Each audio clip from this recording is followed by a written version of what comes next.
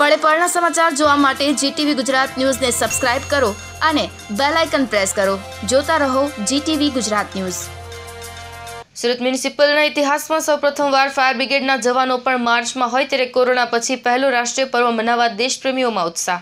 સામાન્ય માણસને પરેડ જોવાનો મોકો મળે એ પણ ઘણું કહેવાય. પણ આ વખતે સુરતમાં મ્યુનિસિપલ દ્વારા આયોજિત પ્રજાસત્તાક પર્વની ઉજવણીમાં સામાન્ય માણસને પરેડ કરવાનો મોકો પણ મળવાનો છે.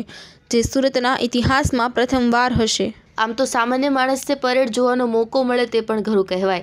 આ વખતે સુરત મ્યુનિસિપલ દ્વારા આયોજિત પ્રજાસત્તાક પર્વની ઉજવણીમાં સામાન્ય માણસને પરેડ કરવાનો મોકો મળ્યો. સુરતના ઇતિહાસમાં કદાચ આ પ્રથમવાર હશે. એટલું જ નહીં, ફાયર બ્રિગેડના જવાનો પણ સુરતના ઇતિહાસમાં પ્રથમવાર માર્ચ કરવાના હોય. અઠવાલાઈન સુમરા પાર્ટી પ્લોટ ખાતે મ્યુનિસિપલ કમિશનર બંછાનિધિ પાણીના હસ્તે સવારે દસ કલાકે ધ્વજવંદન ત્યારબાદ ફાયર બ્રિગેડના જવાનોની પરેડ. ફાયર ઓફિસર વસંત પરીખના જણાવ્યા અનુસાર સુરતમાં પ્રથમવાર ફાયરના જવાનોને પરેડ કરવાનો મોકો મળ્યો જે ખૂબ જ આનંદની વાત છે.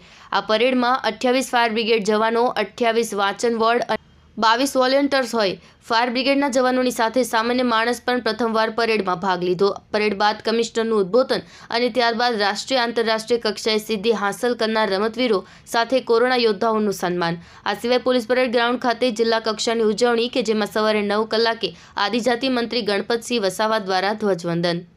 Rahul Makwana GTV news, Surat.